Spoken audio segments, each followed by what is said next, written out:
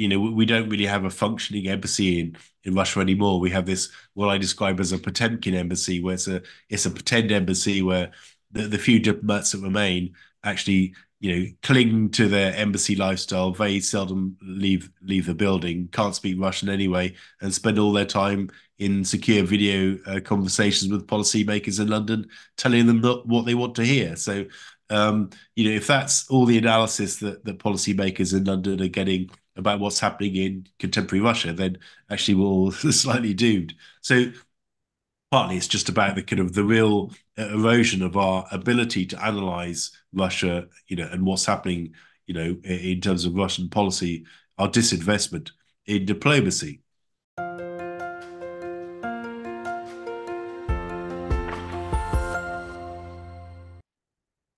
It still seems to be the strategy actually of western countries including the uk to keep this going right uh, like fight to the last ukrainian and exactly. and and and fill in as much as uh, I mean send as much uh, weaponry as you can to kill as many Russians as possible.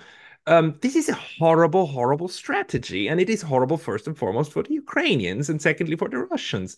Um, can you explain to yourself, or did you did you ever meet the people who are responsible for this policy, and what is their what are their thinking their thought processes going down that route? Because they must understand that this is what it's what it is right? This is not just us putting a framing on them.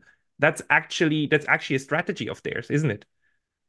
Yeah unfortunately i've met many of the people who've made this uh, uh, policy uh, you know i'm sad to say but uh, uh, i think a lot of it is rooted in it's two things uh, it, it's one that lots of the kind of russia thinking in the government including in in the us government in, in the uk government is from people who've been thinking about Russia since you know the downfall of the of the Soviet Union. They they've been around so long uh, that their mindset is still in you know Soviet collapse, you know Russia weakness, uh, and Russia still being a hostile threat because of the size of its you know nuclear arsenal. So so they have a very strong and dominant role in terms of influencing how policymakers think, but also influencing how ministers think. You know, certainly in the UK system, our foreign ministers come and go. We've had seven foreign ministers, eight foreign uh, ministers, you know, since the Ukraine uh, crisis started. So, you know, because they're not as well informed as the officials, the officials have a lot of influence over how they think. That's one. The, the second is that actually the new generation of British diplomats, we've lost our Russia expertise. You know, we haven't we've stopped investing in in having new young diplomats coming through the system who are learning about Russia, understanding you know contemporary Russia, but also getting to know Russian people and understanding the Russian psyche, the Russian soul, you know how Russian people think, for the purpose of actually enabling us to have dialogue, diplomatic dialogue on the tough issues with Russia. So one, a dominance of the people who've been around since the kind of post-Soviet phase and still see Russia as this essentially malignant and hostile uh, throwback uh, from that from that period, and two, a generation of, of new diplomats who don't understand Russia anyway and just happy uh, happy to follow the kind of groupthink policy consensus. I think this is an important point because time matters and generations matter. So on this channel, I had the privilege of talking to um, Jack Matlock, yeah. two or three times. And this man is just utterly brilliant. And he's a US foreign, uh, US diplomat who comes from the middle, middle of the Cold War, early to middle Cold War. And yeah. he's one of the people responsible for negotiating the Cold War to an end. And now we have people in the highest offices in their 50s and 60s who were young and trained when Russia was uh, weak and when everybody was in this uh, hyper kind of triumphalist uh, we defeated yes. we defeated the soviet union moment it, is that still in the head of these people who are now taking the, the decisions that that they're saying the russians are evil but they're also weak therefore we fight to the end? Is that the idea uh, well yes uh, you know for want of a better term. And there's also kind of a fear about you know russia's there's an exaggerated fear of, of the russian threat you know, Russia, you know, uh, economically, you know, demographically, uh, militarily, in terms of conventional military military power, you know, we've created a narrative that it poses an outsized threat to the reality. You know, um, firstly, uh, we're worried about you know Russia having greater alignment with with China and what that means for U.S. interests in particular and policy in the South China Sea. Uh, even though China is massively the dominant partner in that kind of relationship, uh, and the and the Russia-China relationship is much more difficult than people really uh, kind of appreciate. So you know you've got all these kind of exaggerated notions of, A, Russia and its threat, and B, Russia and how it can um, you know, can join with China to create an even greater kind of global challenge that people kind of use all the time to justify existing policy, which very clearly isn't working, particularly in Ukraine. Yeah, you're absolutely right. Uh, for anyone interested, there's this wonderful scholar. His name is Yu Bin, and he since 1999, he has been uh, producing quarterly uh, updates on the Russia-China relationship. And there you can see then how how how dynamic that one is. Um, the thing that I cannot get over is something that you also write about in your book, is the doublespeak that we see in Western media, but also coming from politicians saying that um, you know, Russia is a huge threat. We need to deter it. It's really, really dangerous, but it's also super weak. I mean, they can't, you know, they will fall quickly. And if we just send two or three more Storm Shadows, then they're going to run home, and there's going to be total defeat, and the Ukraine's going to get back Crimea. Do they believe that? Do they have a schizophrenic psychology, these people? I think some people genuinely do believe that. I mean, because you know, we've lost sight of analysis. You know, we don't really have a functioning embassy in in Russia anymore. We have this, what I describe as a Potemkin embassy, where it's a it's a pretend embassy where the, the few diplomats that remain actually cling to their embassy lifestyle, very seldom leave leave the building, can't speak Russian anyway, and spend all their time in secure video conversations with policymakers in London, telling them what they want to hear. So um, you know, if that's all the analysis that policymakers in London are getting about what's happening in contemporary Russia, then actually we're all slightly doomed. So partly it's just about the kind of the real erosion of our ability to analyze Russia you know, and what's happening you know, in terms of Russian policy, our disinvestment in diplomacy. How are the Russians? Are they holding up better in terms of being able to understand what the UK and Europeans are doing? Um, do you do you know how they operate their embassies in London and so on? Well, certainly the UK. I mean, certainly since 2018, uh, Russia's had a far better resourced embassy in the UK than we've had in had in Russia. So their diplomatic assets, their ability to understand what's happening in the UK is much greater. There's a a much larger kind of Russian population in the UK than there is a British population, let's face it, in in Russia. That we have a. And I'm I'm glad to welcome. I'm very much an open border sort of person. You know, we have 150,000 Russian people you know, living Uh, in the UK. That is a resource you know, as well in terms of their understanding of the UK. Um, so you know, Russia's ability to understand us, I think, is is far is far better than our ability to to understand them. But in any case, you know, um, Russia itself has become very entrenched in terms of its view of the West and and uh, conjuring up uh, and reaching into history to kind of create the West as this new external threat along the lines of, obviously, the Nazis of World War II, which you know they just commemorated Victory Day just recently in Moscow, but also kind of Napoleon and going back to the the Swedes and the Lithuanians. And you know we're just the modern incarnation of a new kind of external threat. And Putin very much uses that to kind of rally Russians uh, to his to his side. Yeah, and this is what, this is what sorry for the blunt language, but this is what sucks so much. If everybody goes back to history and then says, well, uh, you know, uh, Putin is the new Hitler, and then the Russians say, like, yeah, the Europeans are the new Napoleons and and and and, and so on, then yeah, yeah, then we are doomed to to conflict. But the the thing that I, uh, you know, before the war started in 2022, Vladimir Putin wrote an op-ed Uh, in one of the big German newspapers in in uh, in 2021 for, uh, I think it was also for Victory Day. And one of the important things is that that that the Russians, at least back then, and Vladimir Putin too, they were very careful of of distinguishing between the Germans and the Nazis. He constantly talked about the Nazis who were a threat and everything, but not about the Germans. Um, and I fear that we, in, in Europe, we lose the ability to distinguish between real people who did horrible crimes back in the past.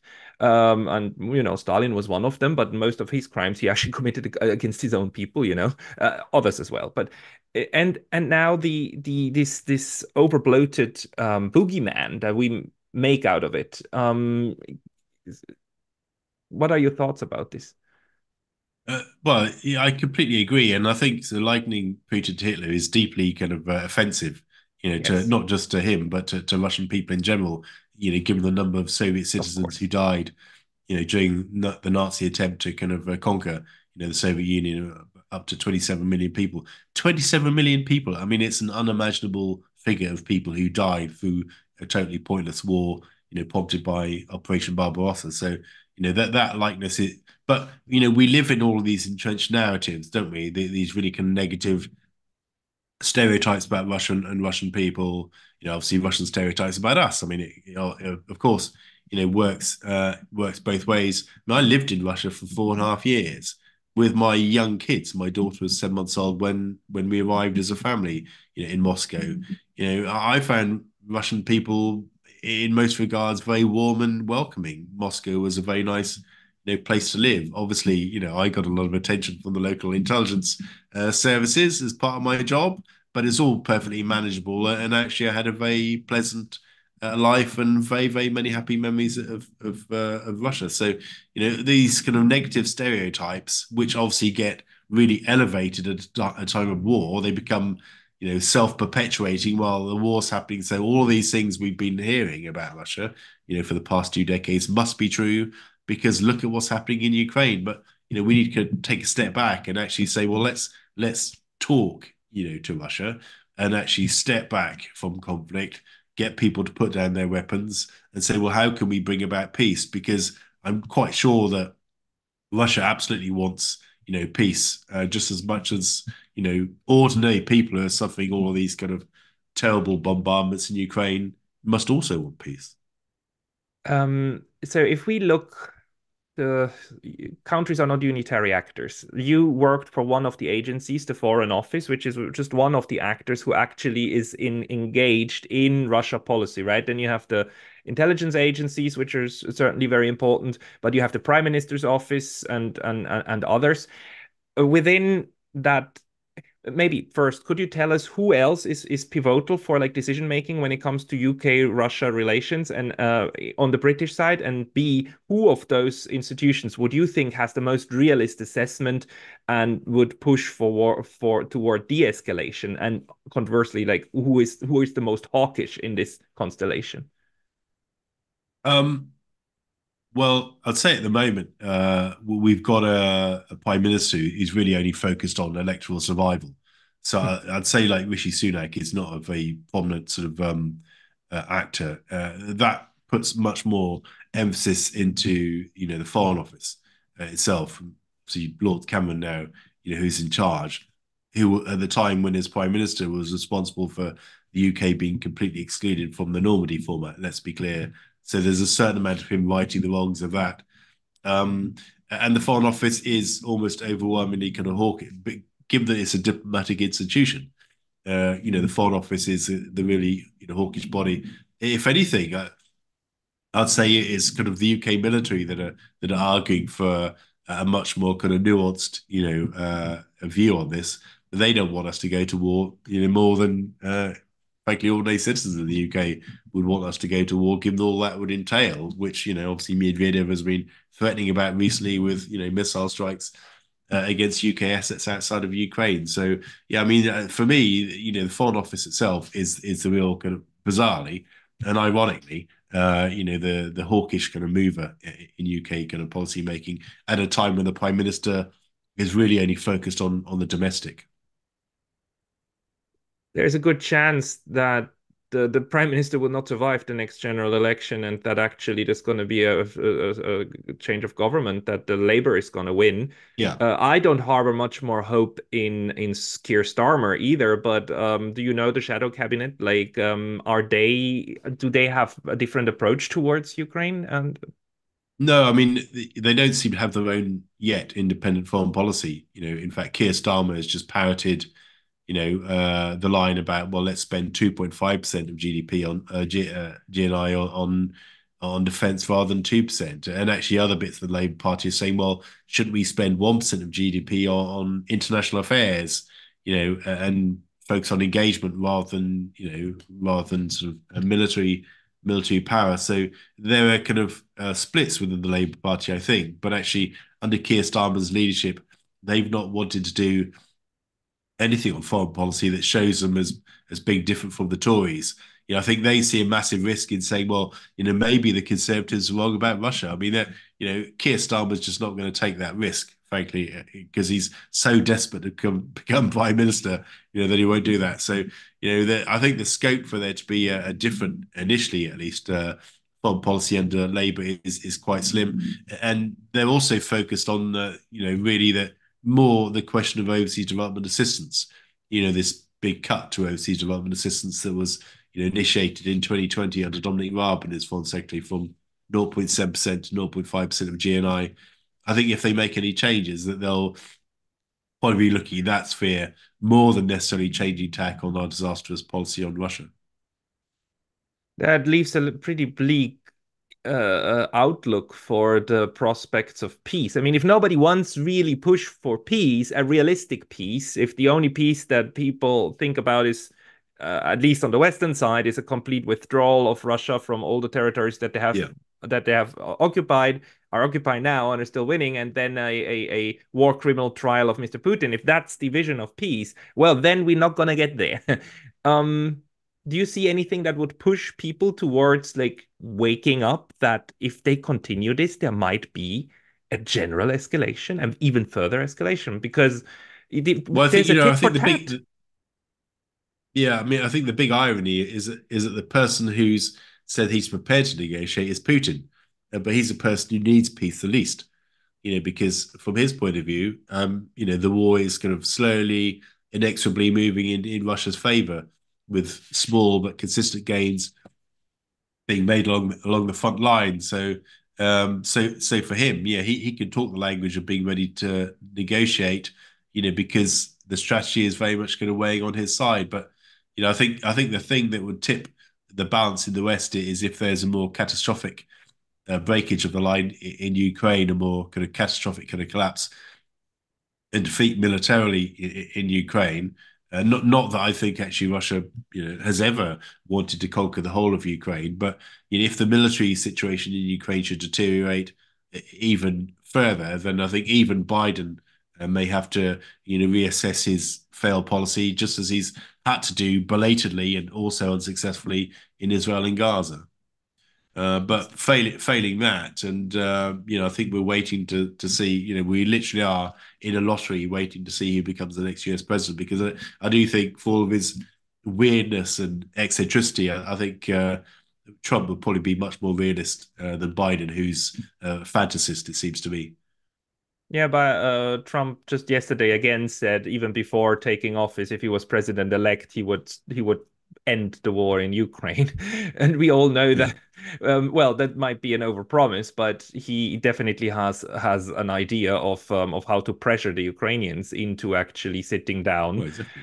um, yeah, because I mean, Ukraine has to be ready to negotiate too, and Russia yeah. has to be ready to negotiate. I mean, it, ultimately, peace will be solved by Ukraine and Russia in the final analysis. Yes. You know, Russia can have support from China and other countries. You know, obviously, Ukraine will be supported by you know, the Western family and all that sort of thing. But without Ukraine and Russia sitting at the table together, there will be no peace. And yeah. that involves us having difficult conversations with Ukraine. Actually, well, this idea of peace conferences where Russia isn't invited is completely ridiculous. You know, you actually need to sit down with Russia as you did at the start of the war, going back to the Istanbul process, and, and hammer out hammer out a process, you know, towards peace. If the West isn't is refusing to encourage Ukraine to do that, then then I think you know we're in real trouble because Ukraine will continue to think that it has a blank check, you know, for its for its actions. And not just not just Ukraine, but the thing is, I, I guess the Western alliance would need to strengthen the the the the the hand of the actual government of Ukraine and protect also the uh, Zelensky and others from the ultra right wing nationalists who would probably uh, kill these people just in order to continue the war. Um, I mean, yeah. you need to the, the old right uh, ultra right wing. They're small, but they're there, and they're threatening violence toward like to continue the war. Yeah, of course, and uh, of course, you know that that just makes Zelensky look increasingly like a puppet, doesn't well, it? You know, you know. Yeah. Um, um, uh, so you know, what do you do? I mean, uh, you know, Zelensky has to be a statesman. I think you know, a war's a game of good, a game of two halves. I mean, his first half was good. You know, he he played the statesman right at the very beginning. He's got international uh, claim, but he needs to kind of flex, you know, and and recognize the realities of the situation for his long term kind of survival as a political leader. You know, he's already kind of delayed elections indefinitely while war war goes on. You know, he now needs to play the statesman and look at the bigger interest of his country. Do you think, as a diplomat, that um, Mr. Zelensky could negotiate peace? Like, let's say, hypothetically, he came out of this persona that was created, and he laid down the the the green sweatshirt and put on a suit and re rescinded that decree that he cannot negotiate with Mr. Putin. If that happened, do you think he would have the standing inside Ukraine to actually negotiate and and bring Ukraine along with him? Um, well, possibly not, because you know, so many people have left Ukraine, you know, um, that actually what's left? You know, you've got people in the military, you've got you've got old people, and you've got political activists. You know, many of yeah. whom are sort of you know now moving against Zelensky as they see that you know the war is very much uh, going against Ukraine, uh, not just tactically but longer term, you know, as well. But I mean that that's politics. You know, uh, leaders come and go, and and you know that's that's his destiny. But if he's genuinely interested in peace, then he needs to kind of spin that drum and see where he ends up. Uh, but unfortunately, you know that's why he's paid the big bucks. Politicians come and go, but that's why we have foreign offices. The diplomats they stay. yeah. Usually, do the Ukrainians have people that you would say these are good people? Like they can work with the Russians, they can work with the Brits, with the Americans. Is there a network still? Yeah, no, of course there are. Of course there are. I mean, diplomats are ultimately, you know, diplomats were hardwired to engage. You get the kind of more hawkish diplomats, you get the more dovish diplomats, you know, like me. But there would undoubtedly be, you know, people who, who recognize that actually, you know, engagement is vital, you know, for the future. I mean, you can't you can't do without it. I mean, um, but whether they whether they get their voices heard, of course, is another matter because clearly they don't you know in the UK right now. But uh, so so you know we'll see. Uh, but there, there's a it seems to me there's a big statesmanship vacuum in Ukraine right now uh, that, that Zelensky isn't filling. And uh, you know while while that remains, all this chaos and as you say, this kind of greater influence of the kind of far right groups, you know, will only increase. So you know, the longer Zelensky leaves it, I mean, the, the greater the chance of, of actually uh, it leading to quite a bad end for him politically. It seems to me. So you know, his best bet would be to strike out early and actually play the statesman now rather than wait and and have a. It, it seems you know um, a much more kind of difficult political ending to his career. Yeah, and like let's be honest, like an Afghanization of Ukraine cannot be in the interest of Ukraine. So any sane leader would try to avoid that scenario, no. right? No, I mean I I've been to Ukraine. You know, Kiev was uh, is, you know, a fabulous city. I, I traveled when I finished my time in Moscow. I drove all the way from Moscow back back to the UK. You know, driving through kind of Chernihiv and down through Kiev and all across the Western Ukraine through Lviv and so on. You know, real sense of a country. You know, looking forward. You know, looking to integrate economically more with other countries. You know, up and coming, lots of potential, massive challenges, corruption, all those things we we know about. But a real optimism to to open up and cast off, you know, the shackles of the past. Well, all that progress has come to a halt. I mean, you know, that that can't continue while war rages. Uh, so you know, it, it, does feel like it's it's you know, a country that's stuck in this kind of this free zone imposed imposed on it by its its political leadership.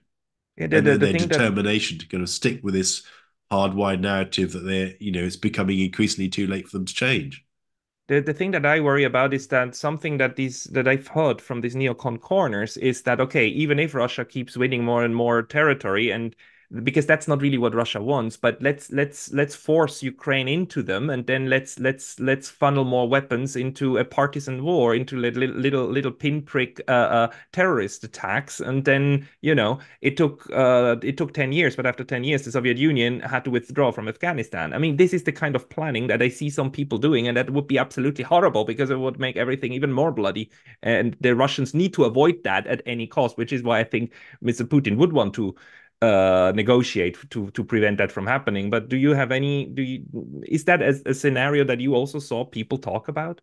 Yeah, I mean, I just don't know why anybody would think that was a good idea. You know, really. I mean, you know, good for us. You know, is a peaceful Ukraine that's integrating more closely in, into Europe. That's you know having good relations with Russia. You know, what why we think you know you look at how badly our you know the U.S. Afghan strategy worked out. You know. Um, uh, you know, recently, why we'd think that would be a good approach for th this country that wants to go modernize, open up, and integrate with the wider world. You know, you know, turning it into sort of a, neo Taliban with ultra right wing elements to it would be a good idea. Completely astounds me. I mean, you know, I should think most ordinary Ukrainian people want to just live in peace, have their kids happy, you know, doing well at school and and have ordinary lives and so on. So it's just utterly ridiculous that people should think in these terms and not think that actually the best interest for everybody, Ukraine, Russia, you know, Europe, the UK, because we're still part of Europe, uh, you know, would not be served by peace. It's completely ridiculous. I absolutely agree. You speak like a real diplomat, like all diplomats should. So, um, Mr. Ian Proud, thank you very much for talking to me today. Thanks so much, Pascal. Nice to talk to you. All the best.